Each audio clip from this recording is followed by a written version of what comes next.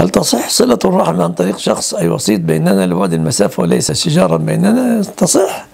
إذا قنعوا بذلك.